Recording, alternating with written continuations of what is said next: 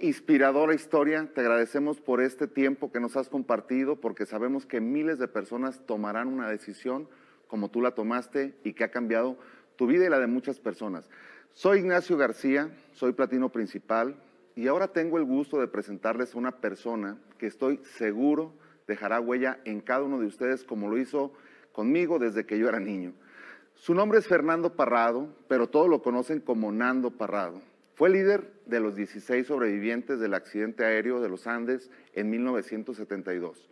Un hombre de negocios, deportista y productor de televisión, con una increíble historia de liderazgo y superación. En 2010 recibió el título del mejor orador del mundo. Toma nota, no te distraigas y aprovecha al máximo este gran mensaje. Con ustedes, Nando Parrado. Muchas gracias Nacho por tu presentación. Es un placer para mí estar hoy con ustedes en eh, la conferencia Momentum 2021 de Inmunotech. Y estaba pensando hace unos minutos, mientras esperaba la conexión, que no tendría que estar aquí, no tendría que estar aquí con ustedes hoy. No porque tendría que estar en otro lugar haciendo otra cosa, sino que no tendría que estar vivo. A través de mi experiencia que sucedió en 1972 y me atropelló el destino, como nos ha atropellado de nuevo a todos, a mí principalmente me ha atropellado de nuevo y a muchos de ustedes con esta pandemia, con estos nuevos miedos, con estas nuevas incertidumbres que está viviendo casi todo el planeta. Son miedos nuevos donde tal vez por primera vez vamos a tener que sumergirnos dentro de nosotros y buscar en nuestra personalidad, en nuestro carácter, esas cualidades que nos permitan afrontar esto. He tenido miedos, soy muy bueno escondiendo mis miedos, pero cuando nos atropella el destino nos presenta cosas y situaciones que son muy difíciles. Yo en el año 1972 tuve que afrontar una historia de supervivencia muy dramática, una de las historias de supervivencia más increíbles del mundo. Y aprendimos allí todo lo que nos ayuda hoy en día a enfrentar cosas como esta pandemia. Yo tenía 21 años, era jugador de rugby de un equipo aquí en Uruguay y al final de 1972 nos invitaron a jugar un partido contra el campeón de Chile. Tuvimos una situación terrible, nuestro avión se estrelló en la cordillera y tuvimos que sobrevivir allí 72 días, en el peor lugar que puede sobrevivir el ser humano, porque el ser humano puede sobrevivir en el mar, en la jungla, en el desierto con más chances, pero en las altas cumbres de las montañas todos los expertos en supervivencia dijeron que era imposible sobrevivir más de 36 a 48 horas y nosotros sobrevivimos dos meses y medio. En una situación de supervivencia de esta magnitud, absolutamente terrible, si uno regresa, regresa sin algo que es muy importante para uno. Puede ser un dedo, una mano, un brazo, una pierna, puede ser un amigo, puede ser un familiar, pero sobre todo regresa sin algo que tal vez nunca nos dimos cuenta que estaba tan firmemente pegado en nuestro cerebro, en nuestra mente. El, hecho de creer que la vida va a ser siempre perfecta, con camas tibias, buenos amigos, buenas familias y finales felices. La supervivencia cambia todo esto. En el medio queda una sombra muy oscura, muy grande, y va a depender de nosotros mismos salir de ella o no. Cuando uno se enfrenta a situaciones de supervivencia de esta magnitud, todas las consecuencias de los actos, de las decisiones, no van a ser medidas en términos de cosas materiales o de bonos o, de dinero o de algo que nos gusta, sino que van a ser medidas en términos de vida o muerte. Y va a ser la vida o muerte de uno mismo, no de alguien que está sentado al lado de ustedes o alguien que conocen. Cuando uno tiene que decidir acerca de su vida cinco, seis, siete, ocho veces por día, todo cambia y uno tiende a ser elevado, tal vez a lo mejor que tiene como ser humano, o a veces tiene que descender a lo peor que no tiene como ser humano.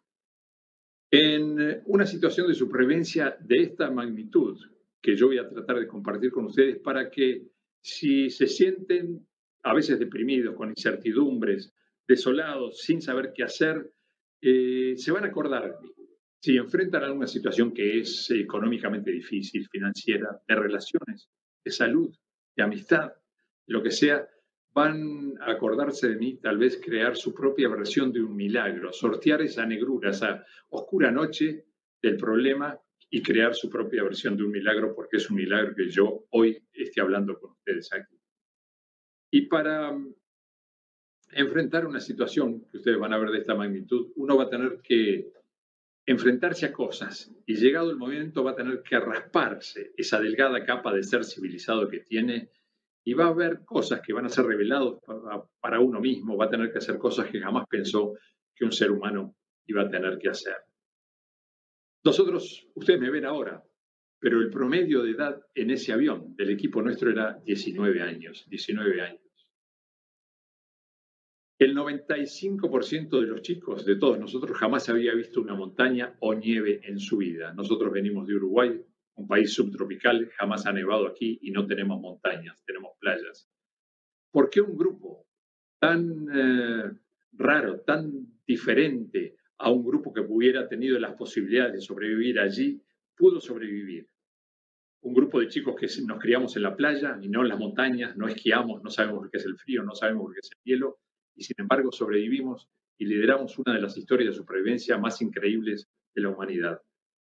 Años después, después de hablar con grandes profesores en grandes universidades, nos hemos dado cuenta de que llegamos a la excelencia en muchas cosas. Nos damos cuenta ahora, después, no allí, no allí. Allí actuábamos por instinto muchas veces.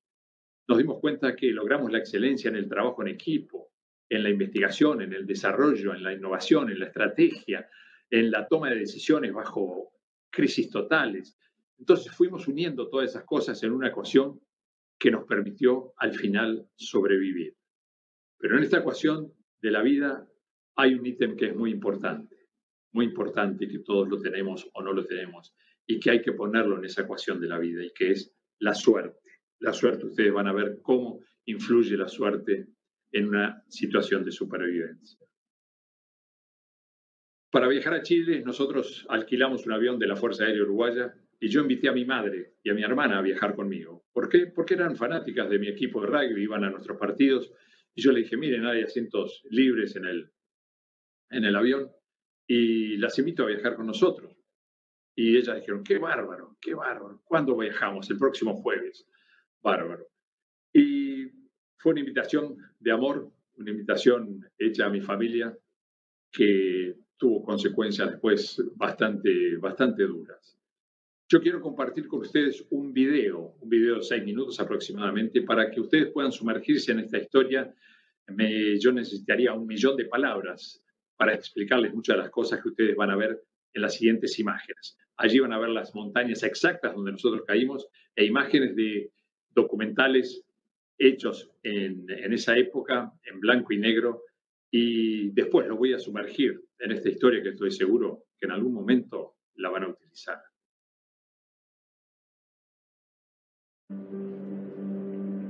Una de las más grandes historias humanas de supervivencia de todos los tiempos comenzó el 13 de octubre de 1972, cuando un avión charter, llevando un equipo de rugby del país sudamericano de Uruguay, desapareció sobre las remotas cumbres nevadas de los Andes.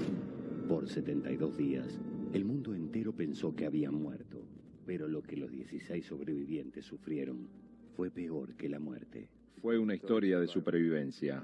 Fue necesario un fantástico esfuerzo físico para salir de allí y luchar cada día contra el hambre, el frío, el miedo, contra todo.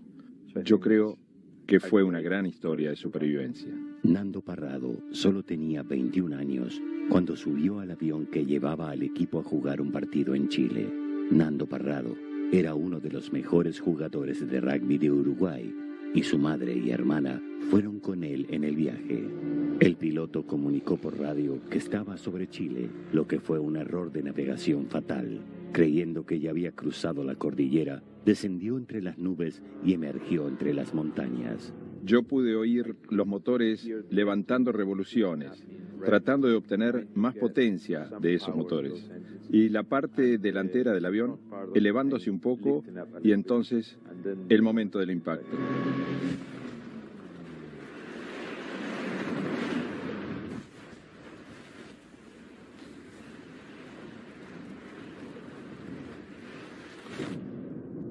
El avión había caído en la más extensa cadena de montañas del mundo, Equipos de rescate de tres países buscaron, pero el techo del avión era blanco y las montañas estaban cubiertas por la mayor nevada en 50 años. Después de 10 días, la búsqueda fue abandonada. Habían caído a más de 3.500 metros de altura. De noche, las temperaturas bajaban a 30 grados bajo cero. No podrían sobrevivir solamente con unas pocas barras de chocolate. Tampoco podrían imaginar la pesadilla que iban a vivir dos semanas y media después del choque inicial. Una de las cosas más importantes y duras que recuerdo fue la avalancha que cayó sobre el avión. Unas dos semanas y media después del impacto, una noche, estábamos dentro del fuselaje, nos disponíamos a dormir, estábamos durmiendo en las posiciones que acabo de describir. Unas dos horas después de haber entrado al fuselaje y cuando algunos ya dormían, una gran avalancha atravesó la pared.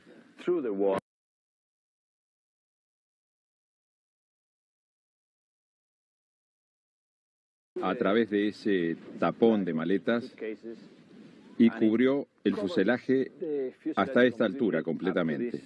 Así que Así que ustedes pueden imaginar que nuestras cabezas estaban aquí y allí y estábamos totalmente cubiertos de nieve y no nos podíamos mover.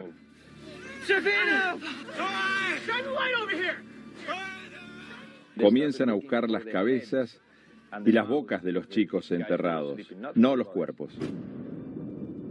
Tres de ellos intentaron llegar a la cola destruida del avión que había caído en un valle hacia el este y casi mueren en el intento. Nando selección.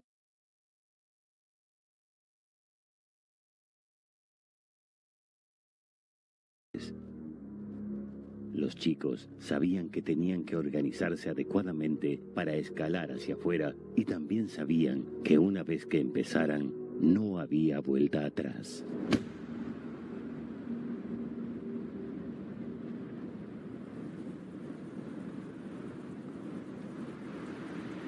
Yo creo que éramos chicos promedio de Uruguay.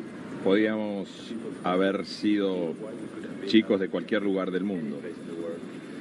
Y a través de nuestro trabajo, de nuestra amistad, sobrevivimos una de las cosas más hostiles de este mundo. Frío, hambre, sed.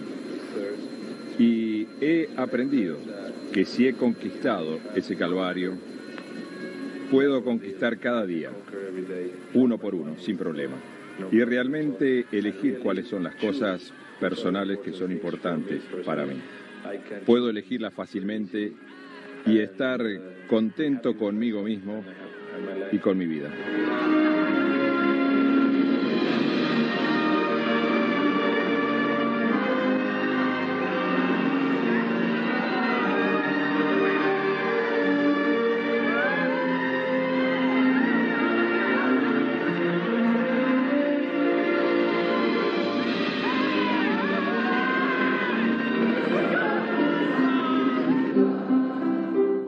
Como un héroe.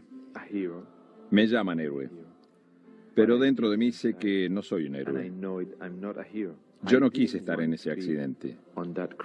No quise pasar 72 de los días más terribles de mi vida en ese lugar. No quise sentir lo que sentí. No quise perder a mi madre. No quise perder a mi hermana. No quise perder a mis amigos. Yo no sabía que se iba a escribir un libro. Yo no sabía que se iba a filmar una película. Yo solo quería salir de allí. Si eso es ser un héroe, me pueden llamar héroe. Yo no quiero que me llamen héroe. Yo solo quería salir de allí.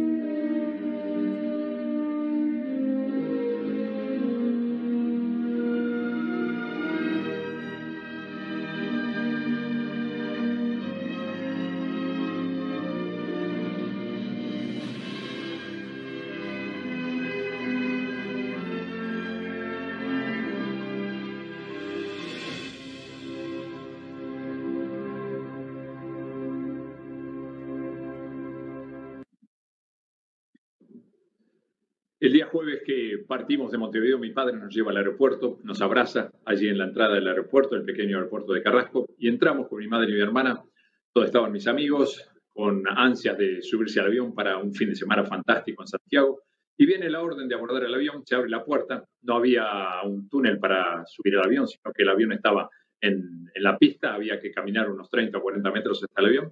Íbamos todos en grupo y yo les hablé de la suerte al comienzo, cómo la suerte influye en la vida de una persona. ¿Por qué? Porque no había boarding passes, no había tarjetas de embarque.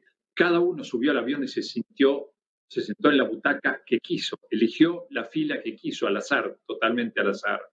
Yo me senté en la fila número 9 con mi mejor amigo, Panchito Aval. ¿Por qué en la 9? Me podía haber sentado en la 3, en la 4, en la 8, en la 14, me senté en la 9. Y eso definió para siempre mi vida, algo al azar. Elegir una butaca al azar definió mi vida para siempre.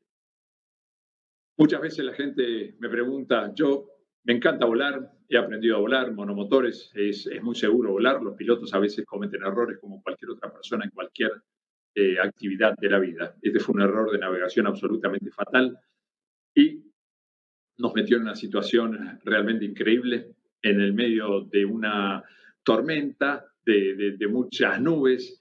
El piloto se equivocó de la navegación y empezó a bajar en el medio de los Andes cuando pensó que ya los había cruzado los Andes. Es increíblemente lo rápido que es un avión. La primera noción que, de un accidente de un avión, la primera noción que yo tuve del accidente es el codo de mi amigo Panchito que me pega y me dice, Nando, mirá. Yo miro por la ventana, yo iba sentado en el, en el pasillo y a unos 100 metros del avión, mezclado con las nubes, mezclado, íbamos una montaña negra y blanca, llena de nieve y hielo, mezclada con las nubes. Y eso pasa un segundo, dos segundos, y digo, no puedo volar tan cerca de una montaña y miro hacia el otro lado del avión donde estaba mi madre y mi hermana sentadas y es increíble lo que uno puede recordar en la última décima de segundo de su vida. Ese sonido metálico del impacto del avión. Si podemos poner eh, la primera fotografía, allí vamos a ver cómo el avión impacta contra la montaña con la parte de abajo. Sonido metálico absoluto, pierde las alas en ese momento, el avión pierde las alas y la parte frontal del avión se desliza por la siguiente montaña, porque el fuselaje adelante, eh, sin motores, sin alas, sin nada, solamente por el momentum, por la velocidad, vuela y aterriza exactamente en el mismo ángulo que tiene la siguiente montaña. La velocidad 180, 200 kilómetros por hora, el avión, la parte delantera se sigue deslizando y los chicos que todavía están vivos porque de la butaca 9 hacia atrás no había avión. Al partirse todos los que iban en la butaca 10, 11, 12 hacia atrás mueren en el primer impacto. Los que van deslizándose piensan que el avión todavía está volando en la confusión, piensan que está volando, pero el avión ya había aterrizado. Si podemos tener la siguiente foto, por favor. Y el milagro sigue porque el avión aterriza en el único lugar sin rocas de toda la cordillera de los Andes. Si hubiera pegado en la segunda parte del, el accidente 10 metros a la izquierda o 10 metros a la derecha se hubiera desintegrado en mil pedazos, pero se desliza por unos 400, 500 metros hacia abajo a esa velocidad increíble sin pegarle a ninguna roca, lo que es absolutamente un milagro. Si podemos ver en la siguiente imagen, vamos a ver que la inclinación es realmente notable todos los chicos rezando, abrazados a las butacas, allí esperando el impacto final contra el piso cuando ya había aterrizado el avión. Pero sí, el impacto terrible es el tercero, cuando impacta y se detiene de esa velocidad increíble a cero contra un glaciar, contra el hielo. Allí todo se desprende, los asientos, todo se desprenden del piso, se rompen eh, los anclajes y todo queda como una masa uniforme detrás del cockpit del avión, butacas, maletas, cuerpos, todo allí. 40 segundos antes, alegría dentro del avión y ahora absoluto silencio y el destino que nos ha atropellado de una manera increíble y sin avisar, sin avisar. El milagro, además de impactar tres veces y dejar que sobreviva algunas personas, es que había 45 personas en ese avión. Pero después de los tres impactos, 29 de los chicos estamos vivos, 29. De esos 29, 24 no tenían una simple herida, absolutamente nada. Choqueados, mezclados, golpeados, pero no tenían heridas. Cinco sí tenían heridas. Dos chicos tenían las piernas quebradas con las butacas, otro tenía un corte acá en la clavícula del brazo, otro un corte en el estómago grande, y mi cabeza era del tamaño de una pelota de básquetbol, estaba partida en cuatro trozos y completamente cubierto de sangre. Para mí era, yo estaba muerto, había entrado en una negrura total, se me había apagado la luz en el momento del impacto y yo había muerto. 10, 12, 15 minutos después del accidente, comienza algo realmente fantástico. El primer eslabón de esta cadena realmente increíble que dos meses y medio después nos permite sobrevivir. Y ese primer eslabón, ¿quién es? Es Marcelo Pérez del Castillo, el capitán. Muchas veces se habla de trabajo en equipo, ¿no? En el deporte, en las empresas, en todos lados se habla de trabajo en equipo, pero es muy teórico. A veces funciona y a veces no funciona, pero Marcelo era el capitán. Y 10, 15 minutos después comenzó a ser el capitán, ayudando a los heridos, sacando los heridos y los cuerpos debajo de los asientos, todo eso. Comenzó a ser la, la energía en esto y pidiendo ayuda. Y toma Marcelo una de las decisiones, yo les voy a contar, más difíciles e increíbles que he visto tomadas en mi vida. Si vemos la siguiente fotografía, por favor, para que ustedes tengan una idea de dónde quedó el avión. La gente después nos preguntaba y nos preguntaba, ¿por qué no se fueron antes? Nosotros caímos en ese bowl, en ese círculo rodeado de montañas de 6.000 metros, en ese medio, allí donde está la Cruz Colorada, allí quedó el avión. No teníamos horizonte, no teníamos absolutamente nada, solamente montañas rodeándonos en todos lados, allí. Marcelo comienza a ayudar a, los heridos, pero toma una decisión, tal vez la decisión más increíble que yo he visto tomada en mi vida. Y he hablado con presidentes, con CEOs de grandes empresas, con celebridades, con deportistas. La decisión que tomó Marcelo, un chico de 21 años, que jamás había tenido un curso de supervivencia en su vida, no tenía idea, no había visto una montaña, no había visto nieve en su vida, comenzó a salvarnos la vida. ¿Por qué? Si vemos la siguiente fotografía, ahí ustedes van a poder apreciar que el avión estaba partido en dos. No había absolutamente nada detrás. Y Marcelo estaba parado allí al final, ayudando a los heridos, se da vuelta, y él me contaba días después que el viento le pegaba en la camisa. Teníamos una camisa, no teníamos ropa de invierno. Y él dijo, chicos, son las cinco, cinco y media. Para la hora que se den cuenta que nosotros nos caímos, a lo mejor van a ser las siete, siete y media, ocho, nueve de la noche. No nos van a rescatar hoy, nos van a rescatar mañana, porque los helicópteros no pueden volar de noche. Pero la temperatura aquí, a esta altura, en las montañas, va a descender y hay viento y nos vamos a congelar. Entonces, ayúdenme, ustedes que están bien. Agarró cinco o seis de los chicos y con trozos del avión, con maletas, hizo una pared para impedir que el viento entrara. Y estos dos horas, después de un accidente de esta magnitud, con un shock absolutamente brutal, ¿cómo pudo decidir de esa manera?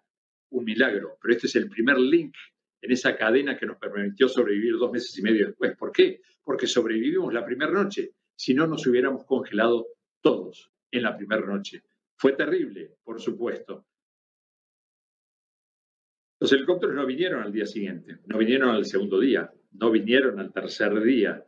Eh, en el cuarto día alguien ve, me habían puesto a mí justo en el grupo de los cuerpos de los chicos que habían muerto, me habían puesto allí en el medio y ven que mis piernas se mueven y dicen, Nando está vivo.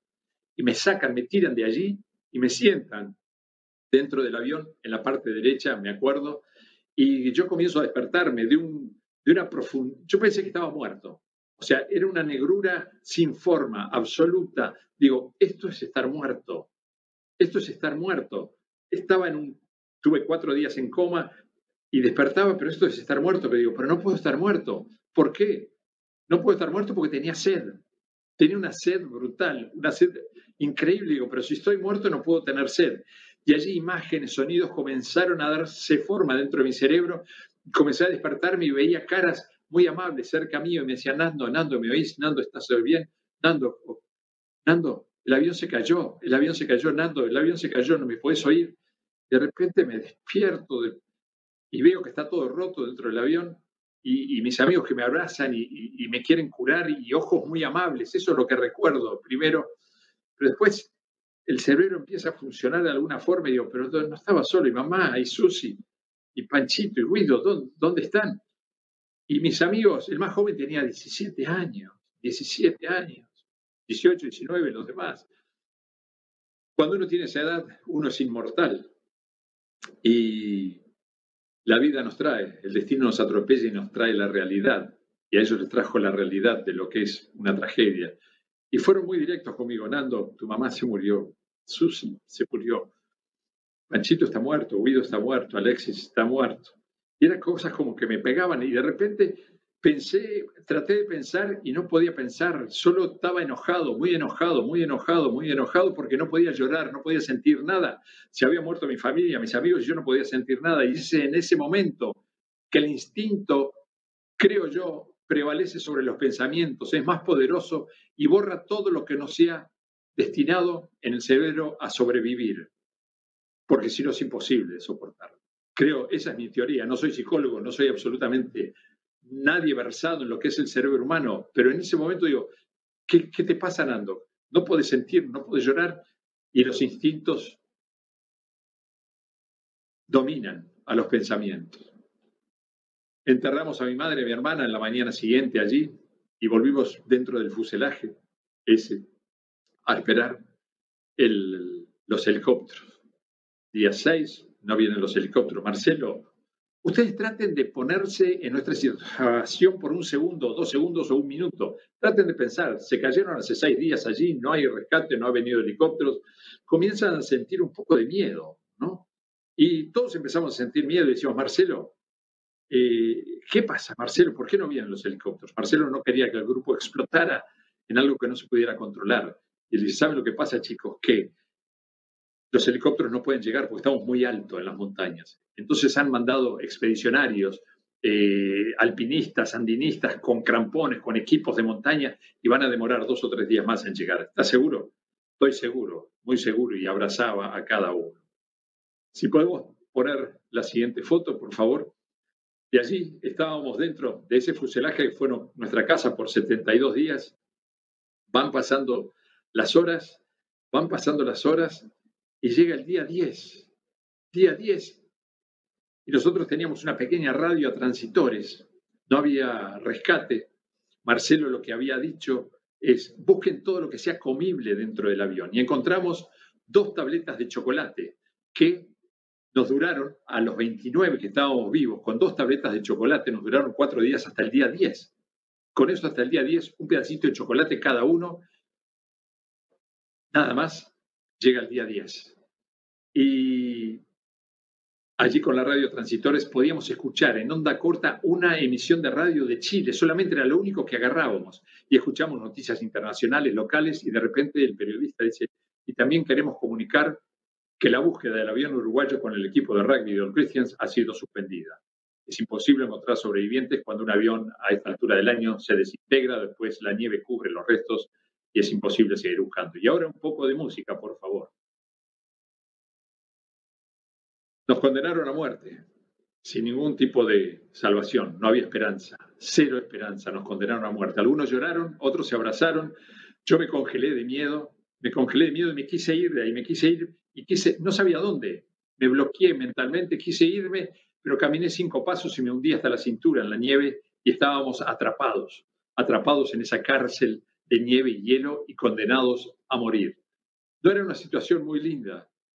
Ya el infierno parecía un lugar confortable comparado, comparado como estábamos viviendo allí. No teníamos comida, no teníamos agua, uno se deshidrata cinco veces más rápido que al nivel del mar allí, necesita dos, tres litros por agua por persona y no hay agua, solamente comer nieve y hielo. Y el frío, la única fuente de calor era el aliento del que estaba abrazándonos y durmiendo arriba nuestro y todos apretados porque uno tenía escarcha, tenía, se forma como un hielito en los hombros, en las cejas, y el, y el frío es terrible, uno comienza a temblar y no para, uno comienza a temblar y no para la situación no era muy linda. Y yo comencé a pensar, un instinto y a pensar y a pensar y a pensar y a pensar. Y al universo no le importa lo que le pasa a nadie. Yo creo que a veces Dios le gustan los escamoteos, las bromas pesadas y pone a prueba a los seres humanos eh, hasta el límite de la fe, hasta que comienza a doblarse hasta el límite esa fe. Y creo que nos puso a pruebas de una situación realmente muy, pero muy difícil. El universo sigue y los días siguieron, las noches siguieron Y en la noche del día 12, ahí abrazado con Carlitos, le digo, Carlitos, yo no me quiero morir, no me quiero morir, no me quiero morir, yo quiero vivir, quiero volver a abrazar a mi padre. Pero te vas a morir, nos vamos a morir todos. No, yo me voy a ir de acá. ¿Cómo te vas a ir de acá? Es imposible, ¿cómo te vas a ir de acá? Voy a esperar que llegue el verano y me voy a ir de acá. Voy a subir esta montaña y me voy a ir. Pero el verano está a tres meses de distancia. Acá todavía tenemos casi dos meses y medio, tres de invierno. ¿Cómo vas a hacer? Voy a comer. Ustedes dirán, ¿qué vas a comer? Y el hambre, el hambre es el peor miedo, el miedo más primal, más primitivo que puede tener el ser humano. No saber cuándo uno va a comer de un nuevo es absolutamente terrible, es terrible. Y la situación del hambre jamás va a poder ser experimentada a no ser que la situación sea real. No es como hacer dieta o no comer por dos o tres días. No, a no ser que uno esté en un lugar que sabe que no va a comer, que no hay comida, no va a comer nunca más. Y ese miedo es terrible. Y nadie va a comprender la terrible ansiedad del hambre hasta que el cuerpo comience a consumirse a sí mismo. Cuando uno mueve los brazos, habla, respira, esa energía. ¿De dónde viene esa energía? Viene de la grasa de los músculos, del hígado, y uno lo siente, lo siente y el cuerpo se va consumiendo. Yo digo, Carlitos, tenemos los cuerpos de nuestros amigos. Nos van a ayudar a salir de aquí. Y esa noche, un rato después, los 29 que estábamos allí discutiendo, hicimos un pacto, el pacto tal vez más increíble más fantástico, más amigable, más hermoso. ¿Por qué? Porque fuimos los primeros donantes conscientes de nuestro cuerpo y dijimos, si yo muero, por favor, utiliza mi cuerpo para que tal vez uno pueda salir de aquí y le diga a nuestras familias cuánto las queríamos. Porque les puedo asegurar que cuando uno está condenado a muerte, lo único que importa en la vida es el amor por los seres que queremos. El resto se borra en un segundo. Y son esos momentos cuando uno tiene que rasparse esa capa de ser civilizado que tiene y hacer lo que tiene que hacer. Y comenzamos a vivir de esa manera, pero en una situación absolutamente terrible. Imagínense ustedes, nada más, pónganse allí por un minuto. Y yo le digo que nada mejora, todo puede empeorar y va a empeorar, porque dos semanas y media después, sobreviviendo en ese lugar, si podemos tener la siguiente foto, por favor, totalmente rodeados de montañas, donde cada uno ayudaba a los demás, cada uno hacía algo por los demás, cada uno, eh, el que podía, eh, hacía agua para los que estaban heridos. Era una especie, no había liderazgo único, cada uno confiaba en los demás, cada uno era el líder de su día y la confianza, la confianza en los demás fue realmente algo que nos salvó. Pero dos semanas y media después, en el silencio como del vacío, porque si no hay viento, no hay sonido allí. No hay ningún sonido a esa altura. Es como estar en el espacio. Pero sentimos un ruido, un ruido raro, fuerte. Y yo miro hacia dónde viene el ruido y era una terrible, increíble avalancha. Una avalancha que de los 29 que estamos dentro del avión cubre a 27 y es de noche. ¿Cuánto puede aguantar uno la respiración? ¿Dos, tres minutos? ¿Cuatro? Traten de aguantar la respiración dos minutos y vean lo largo que es. La avalancha de los 29 cubre a 27. Los dos que quedan afuera de la avalancha, recuerden, está oscuro, cambia la geografía adentro, comienzan enseguida, al segundo de que para la avalancha, a buscar caras, a buscar caras y buscan caras, caras, caras, caras, caras, caras. Yo estoy en el medio del grupo, no puedo respirar, tengo nieve en los ojos, en, los, en las orejas, en la boca, no puedo respirar. Digo, ¿qué es esto? ¿Qué es esto? No puedo creer. Es una avalancha, estoy tapado de nieve. Y no vi mi vida pasada pasar, sino que me entregué y digo, me estoy muriendo, me estoy muriendo y no me podía mover, era como estar adentro de concreto, me estoy muriendo. Y en ese momento que me estoy muriendo, alguien me rasca la cara y un chorro de aire helado me entra y puedo respirar, puedo respirar y me dejan ahí, me dejan ahí. Porque fueron buscando caras y cabezas, no cuerpos, caras y cabezas. En dos, tres, cuatro minutos, estos dos que empezaron esa reacción en cadena, de los 29 que estamos allí, de los 27 que quedaron enterrados salvan a 19. Ocho mueren en la avalancha, incluyendo al capitán, al capitán.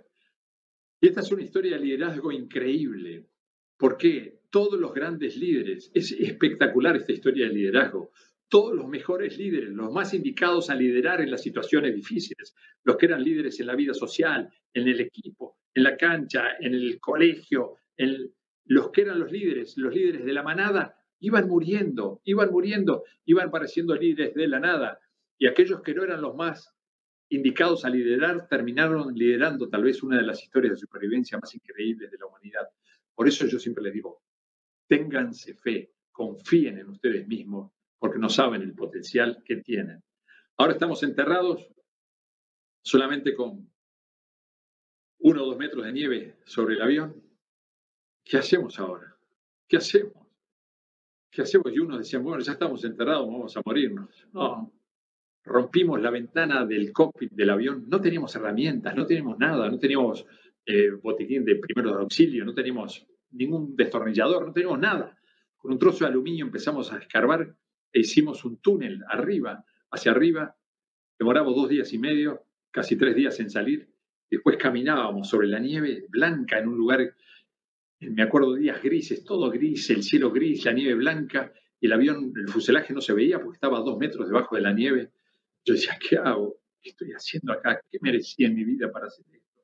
Pero todavía estoy respirando, estoy vivo. Y esto es dos semanas y media, casi tres después del accidente. Faltan dos meses más todavía allí. Dos meses que uno piensa, ayuda a los demás, siempre aparece alguno con alguna idea fantástica para hacer lentes de sol para combatir el, reflejo de la nieve. Otro hizo, como ustedes ven en esta foto, una bolsa de dormir donde nosotros estamos sentados sobre ella, que iba a ser fundamental para el asalto final, la expedición final. Y también encontramos un mapa en el, cockpit, del avión, un mapa con la trayectoria del avión y hicimos cálculos con la velocidad del avión, tiempo de vuelo, dirección eh, de vuelo, eh, altura, eh, viento en contra, un montón de cosas. Mil cálculos hicimos y todos nos daban un promedio que estábamos a 5 o a 8 kilómetros de un pueblo que se llama Curicó en la precordillera chilena. Y yo le decía, chicos, cuando llegue el verano yo subo esta montaña que está acá hacia el oeste, porque hacia el oeste estaba Curicó, y yo en un día llego, un día y al otro día vuelvo con ayuda. Yo estoy seguro que vuelvo, ocho kilómetros lo puedo hacer. Lo que pasa es que estábamos equivocados. Uno de los ítems en la ecuación estaba mal. Estaba todo bien, menos la dirección de vuelo. En vez de haber volado hacia el oeste, el avión voló hacia el sur. Entonces, en vez de estar a 5 o 8 kilómetros de Curicó, estábamos a casi 100 kilómetros. Entre 80 y 100 kilómetros de Curicó. En mi mente estábamos a 5 u 8. En realidad, estábamos a 80 o 100 kilómetros. Si podemos ver la siguiente fotografía, yo miraba todos los días a la montaña que tenía hacia el oeste, esta ahí, planeaba cómo iba a escalar, cómo iba a subir esa montaña, cómo iba a subir todos los días. Miraba, miraba la ruta que iba a hacer, porque iba a ser mi ruta hacia la salvación. Detrás de esa cima está Curicó, el pueblo, con sus casitas, con sus chimeneas, con sus calles de tierra, detrás de esa montaña nada más. Y en el correr de las semanas, algunos van muriendo de gangrena, de debilidad, y nos vamos debilitando. Y yo tenía esa ecuación en mi cabeza. Tengo que irme de aquí antes de que esté demasiado débil como para intentarlo, pero tengo que esperar que llegue el verano, pero tengo que salir. Y ustedes lo saben, porque la situación ahí no era infinita. Tengo que irme antes de que no haya más alimentos acá, antes que no haya más cuerpos. ¿Qué va a pasar en esta situación cuando no haya más? Piensen ustedes, yo no iba a estar ahí.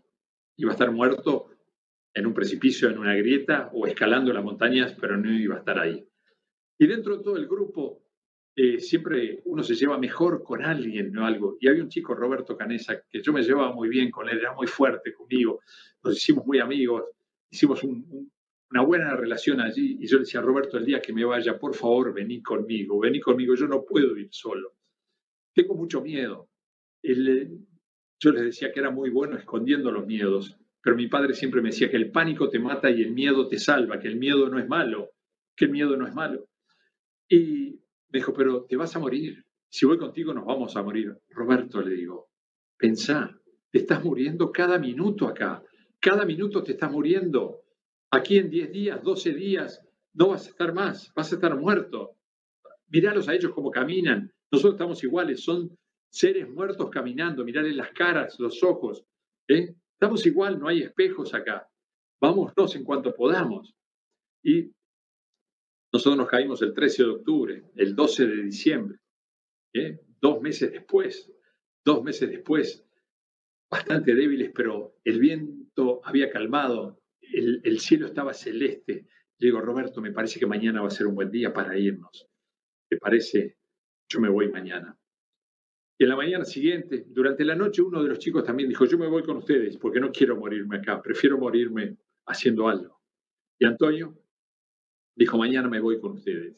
Y en la mañana siguiente, temprano, al amanecer, cuando el sol comenzó a aparecer detrás de las montañas en el este, nos abrazamos con mis amigos, con nosotros, y emprendimos ese camino hacia esta montaña que estamos mirando ahora, derecho hacia esa montaña, y no miré para atrás, porque sabía que no iba a volver, que no iba a volver. Era una expedición que no tenía regreso, no tenía regreso. Y como no hay casas, no hay árboles, no hay referencias, yo pensé que iba a llegar a la cima de esa montaña al mediodía. Bueno, al mediodía recién estábamos al, comienzo de la montaña, porque lleva mucho tiempo. A esa altura uno camina y tiene que respirar despacio, despacio, respirar tres veces y dar un paso. Y nos llevó tres días subir esa montaña, tres días, no mediodía, tres días. Y Antonio ya el tercer día estaba muy cansado y le dije, Antonio, tú volvé para el avión, volvé, porque estás muy cansado, no vas, a, poder seguir. Yo también estaba cansado, me empezaba la piel, me pesaban los zapatos, me pesaba la ropa. No teníamos ningún equipo de nieve, no teníamos guantes, teníamos unos trapos que nos envolvíamos los dedos. No teníamos nada, yo tenía un bastón de aluminio que era la única herramienta que utilizaba para, para escalar. Y Antonio baja y vuelve, y fue una decisión increíble y buena esta, porque nosotros dos íbamos a ir más rápido y más lejos en menor tiempo que si hubiéramos sido tres. Por supuesto que al tomar esa decisión no me di cuenta que fue la decisión que también nos salvó la vida, porque si hubiéramos seguido tres tal vez no hubiéramos llegado. Y a mediados del tercer día yo llego a la cima, llego a la cima y miro hacia Curicó, miro hacia las casas, hacia el pueblo. Y lo que yo vi, si podemos tener la siguiente foto, es esto que ustedes ven ven ahora. Tomada desde esa montaña, tomada por un helicóptero de la Fuerza Aérea de Chile, tomamos esta foto para ver exactamente lo que teníamos delante nuestro, a qué nos enfrentábamos. Y Roberto me decía, ¿ves Juricó? Él demoró media hora más en llegar. ¿Ves Juricó? ¿Ves árboles? ¿Ves algo, algo verde? Y yo digo, no, Roberto, llega, sube, sube, mira eso, me agarra la mano y me dice, Nando, la quedamos. Estamos muertos. Yo creo que los siguientes dos minutos, esto no es una película, no es un poema, no es un libro. Estuvimos ahí los dos. Le dije Roberto, yo no vuelvo. Yo sigo hasta que me muera. Sigo hasta que me muera. Cada paso que dé voy a estar más cerca de mi padre, que debe estar sufriendo mucho, habiendo perdido a su familia. Yo sigo hasta que me muera. Y me mira y me dice, hicimos tanto, vamos a morirnos juntos. Y empezamos, empezamos bajamos esa montaña y todo lo que ustedes imaginen, nos deslizamos, nos caímos, cruzamos penitentes, cruzamos grietas, cruzamos hielo, cruzamos dos ríos, rocas de todo tipo de tamaño, y seguíamos, y seguíamos, y seguíamos, horas y horas y horas y horas, y descansamos dos horas o tres horas y seguíamos y seguíamos. ¿Cómo lo puede hacer uno? No sé, la mente superior a lo físico. Yo perdí 45 kilos, 45 kilos perdí, pero seguimos, hasta que 10 días después de empezar, si podemos ver la siguiente foto, después de 10 días, al final del día vemos del otro lado del río un señor a caballo, un señor que se llamaba Sergio Catalán, supimos después, era un pastor chileno que estaba allí arriba en la montaña con su ganado, lo vemos y empezamos a gritar, y hace 48 años de esto. No había Twitter, no había, no había webs, no había internet, no había teléfonos celulares. Nos comunicamos con una piedra. Yo le escribí un mensaje en un papel, lo envolví en una piedra y se lo tiro. Y el mensaje decía, vengo de un avión que cayó en las montañas, soy uruguayo, tengo 14 amigos heridos arriba. ¿Dónde estamos? Por favor, necesitamos comida. ¿Dónde estamos? Ayuda. Se lo tiro, él lo lee, nos mira y agarra algo de pan y queso que tenía en las alforjas de su caballo, los tira a través del río y dice, ok, esperen, esperen ahí. Y él se va con el caballo. El sol se pone en el oeste, se va con el caballo y él estaba a 10 horas a caballo del lugar civilizado más cercano, que era un pueblo que se llamaba Puente Negro en Chile. O sea que él regresa con ayuda al otro día, recién, con siete gendarmes de un puesto de, de frontera que por suerte tenían radio. Allí se enteran quiénes somos, no podían creer, y llaman al rescate andino, llaman a la Fuerza Aérea Chilena y los helicópteros llegan eh, cuatro horas después del, al día siguiente que, que llegamos allí. Cuando llegan los, el helicóptero, traían médicos, rescate andino, comienzan a atender a Roberto, que estaba bastante débil, y el piloto jefe nos dice, tenemos que ir a, a buscar a los otros, ¿dónde están? Y yo le digo, allí adentro de esas montañas, jamás los encontraremos, tenés que venir con nosotros. Una más, digo, bueno, vamos. Alivian a los helicópteros, dos helicópteros sacan todo lo posible, suben dos del rescate andino, eh, equipo de supervivencia y despegamos. 35 minutos de vuelo en las condiciones con turbulencia sobre esas montañas. El piloto nunca pensó que iba a tener que ir tan lejos. Él pensó que iba a estar a 5 o 10 minutos de allí. 35 minutos después llegamos a ese glaciar y él dice, hay mucho viento, no sé si voy a poder bajar, eh, voy a tratar de aterrizar, pero no voy a aterrizar, voy a ir a un metro del piso porque no sé qué hay debajo de la nieve, para que salten los del rescate andino y me voy. Y fue eso, es como un cassette que va en fast forward, baja, queda un metro, abren la puerta los del rescate andino, saltan hacia abajo y yo abro esta puerta porque veo amigos míos que vienen hacia el helicóptero. Y tres de ellos se zambullen como si fuera una, una pileta, una piscina, se zambullen a mis pies y el helicóptero se va. Y el piloto me dice, hay, ¿cuántos tenemos adentro? ¿Cuántos tenemos? Yo digo, hay tres acá, hay tres en el piso. Y me dice, cerra las puertas y cierro las puertas de los dos lados del helicóptero y estos que se me tiran arriba y me besan y me abrazan y gritaban y lloraban y nos lleva el helicóptero hacia allí ese campamento base y a los otros los rescatan al otro día porque las condiciones de tiempo no eran, no eran muy buenas como para volar. Nos llevan al hospital más cercano, que es en la ciudad de San Fernando, allí. 14 eh, de nosotros, dos los llevan a Santiago, que estaban en condiciones realmente horribles, tuvieron que estar en terapia intensiva. Nosotros estábamos muy débiles, todos muy flacos, con mucho peso perdido, con los glóbulos rojos y glóbulos blancos que no daban nada bueno, todo eso, pero estábamos bien. Nos dieron de comer, nos dieron vitaminas, nos dieron calmante para los nervios, todas esas cosas, y dos días después nos llevan en un charter hacia Montevideo. Llegamos a Montevideo, mis amigos son abrazados por sus familias, por sus padres, madres, hermanos, hermanas, por sus novias, y la odisea, la tragedia se acabó. Yo me abrazo a mi padre, pero no está mi madre, ni está mi hermana, ni están mis tres mejores amigos. La ropa de mi madre colgando en casa. Mi padre dormía abrazado a mi perro en mi cuarto, lo que le quedaba, lo mío, y yo que quería abrazarlo. Y fue una persona muy importante en mi vida siempre, más ahora, después. Yo para él y él para mí. Me dice, Nando, gracias por venir, gracias por hacerme resucitar. Y tú resucitaste, pero no mires hacia atrás. La segunda parte de tu única vida comienza hoy. De tu única vida comienza hoy. Viví tu vida. Y yo comencé a trabajar con él, comencé a hacer deportes, o sea, me llevó un año restablecerme totalmente a mi peso, a mi actividad física normal, casi un año total, lograr el mismo rendimiento físico. Pero comencé a hacer muchos deportes, jugué al rugby, jugué al tenis, eh, corrí en moto, corrí en auto. ¿Por qué? Porque era algo que a mí me gustaba antes. Mi padre era el presidente del Automóvil Club de Uruguay y me había llevado siempre a las carreras de autos, de motos y yo decía, qué bárbaro, pero no me animo a hacer eso. ¿Cómo me encantaría hacer eso? Y después salí de ahí, comencé a trabajar, hice un par de empresas, trabajé con mi padre, pero también hice deportes. Y comencé a correr en auto y corrí en Argentina, en Brasil, en Chile, me fui a correr a Europa. ¿Y por qué digo esto? Porque una acción en la vida lleva hacia la otra. No lo digo para decir que yo corrí en auto, lo digo para decir que una acción lleva hacia la otra y hacia una persona. Corrí en Alemania, en Francia, en Italia, en Inglaterra, en Portugal, en España y voy a correr a Bélgica. Y allí, en el circuito de Solder, en Bélgica, encuentro aquello con lo que yo soñaba. ¿Con qué soñaba?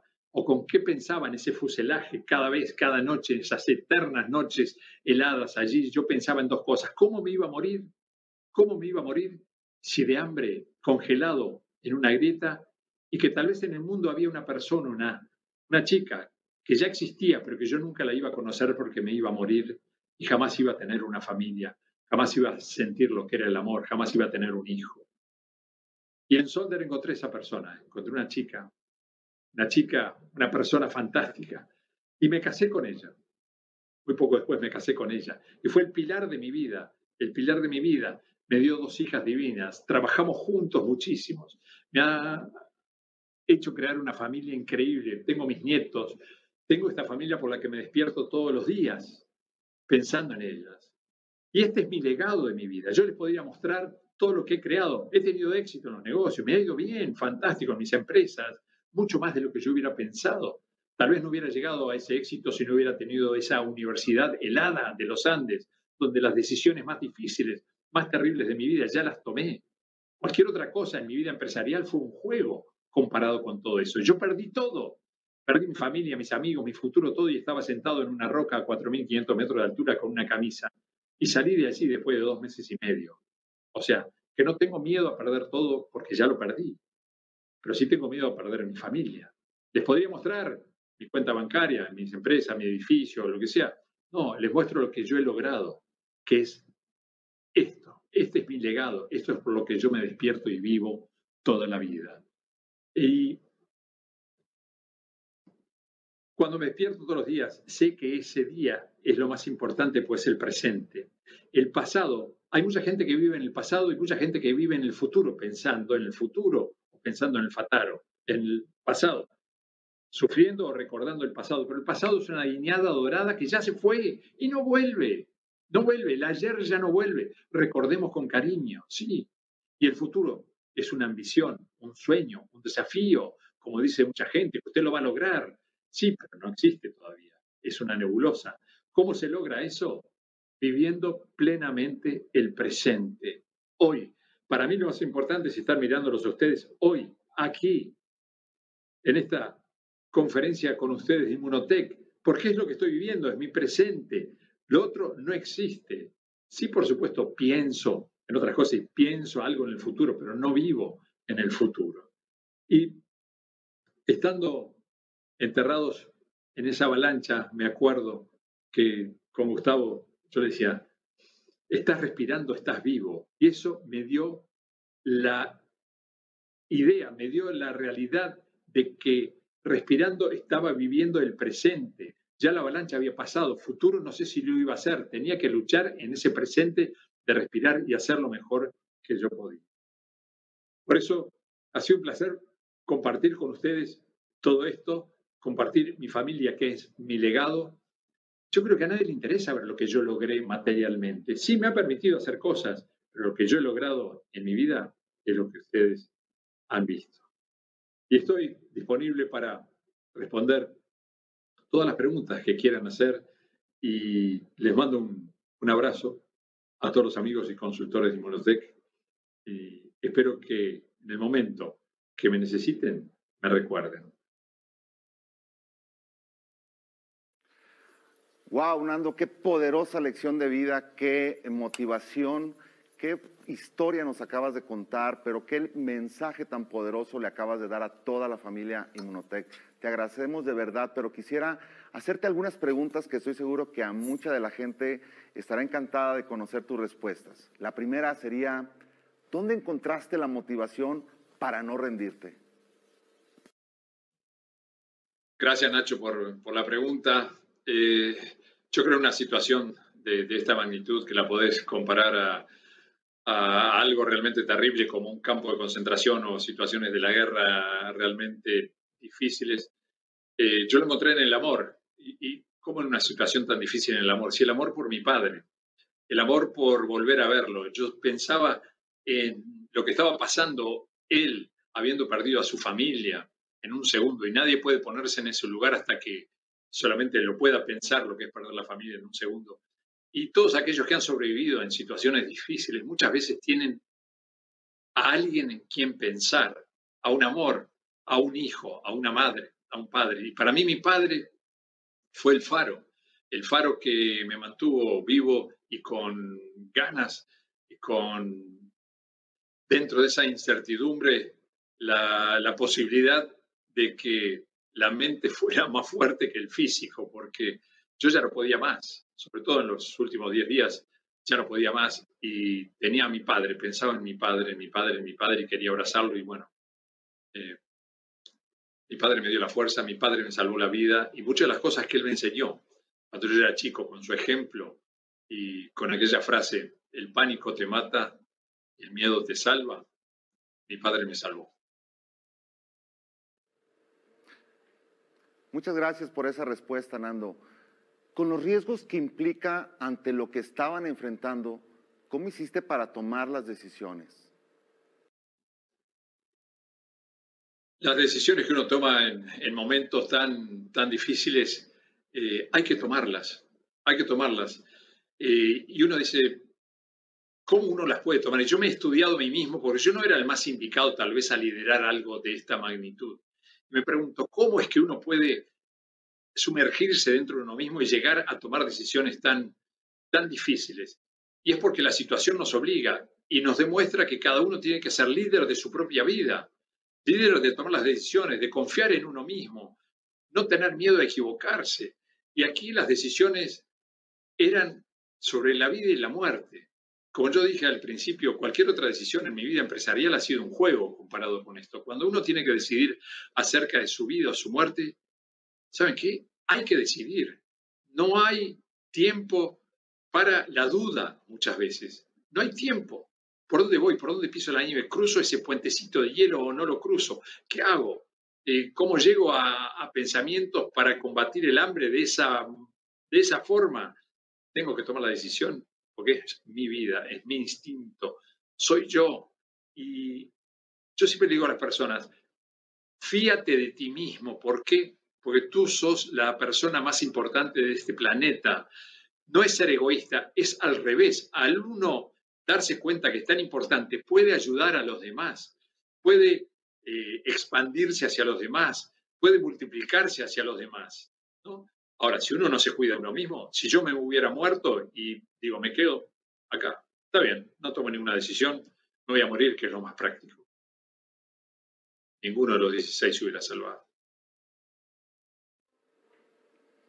Nando, muchas gracias. Seguimos aprendiendo y nos sigues inspirando. Otra pregunta sería, ¿es necesario que todos pasemos por una experiencia tan fuerte, tan dolorosa, para encontrar un propósito de vida? Gracias, Nacho. Es una pregunta interesante. Eh, ¿Por qué la gente tiene que pasar por situaciones difíciles para darse cuenta de que está vivo? Situaciones difíciles, o sea, la mía fue terrible también, pero hay situaciones eh, terribles en el mundo, o sea, sobrevivientes del cáncer, de ataques al corazón, de ACVs, de accidentes de tránsito, un montón de cosas, eh, sobrevivientes de la guerra, de campos de concentración. Yo no soy único, mucha gente sufre, Mucha gente tiene su montaña en la vida aunque no la vea, pero no tienen que pasar por esas situaciones para darse cuenta lo lindo que es estar vivo, lo lindo que es estar respirando. ¿Cuánta gente se da cuenta de que respirar es fantástico? La gente se desilusiona, se deprime muchas veces sin darse cuenta que solo el hecho de estar vivo, de haber nacido, es un milagro. Ahora, si además de haber nacido, por supuesto, este es un planeta con 7 mil millones de personas de habitantes y es un planeta muy duro, donde la gente, el 90%, está tratando de sobrevivir día a día. Todo el mundo trata de sobrevivir de alguna manera, con su familia, con su trabajo, en lo que esté haciendo, siendo un pastor en Etiopía o el CEO de una empresa en New York, pero tiene que sobrevivir. Y la sobrevivencia eh, saca lo mejor de nosotros mismos, saca lo mejor de nosotros mismos. Pero yo les digo a la gente, están vivos, eh, disfruten cada minuto, cada instante, cada vez que respiran, disfruten, porque yo que les escupí la cara a la muerte tantas veces, eh, no me gusta cuando me abraza, no me gusta. Eh, disfruten de la vida, disfruten, den amor, abracen a los que tienen cerca y disfruten, porque se vive una sola Gracias, Nando. Estoy seguro que la siguiente pregunta que tengo para ti le va a servir a toda la organización, le va a servir para realmente empoderar a su organización. ¿Cómo hiciste para sacar lo mejor de los demás? Esta es una historia de liderazgo, Nacho, y de ver lo mejor en los demás, porque cada uno veía lo mejor en, el otro. Yo confiaba en los demás como ellos confiaban en mí. Ellos me decían, Nando, tú vas a llegar, tú vas a llegar, tú tenés eh, la capacidad, vas a llegar. Y ellos no sabían que yo tenía miedo.